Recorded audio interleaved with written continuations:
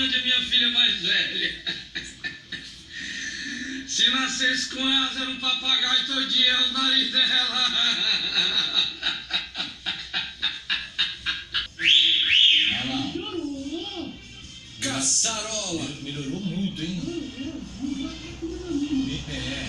Mas aí também pegaram uma foto. De um lado, não vem me enganar, não. De um lado ela não tá maquiada, do outro lado ela tá maquiada. É. Olha lá, ó. Aí, ó. Erilândia. Mas olha como mudou o nariz. A viola muda mesmo, Tá, hein? tá sujo o nariz dela lá embaixo? Para que tá sujo. Olha, vem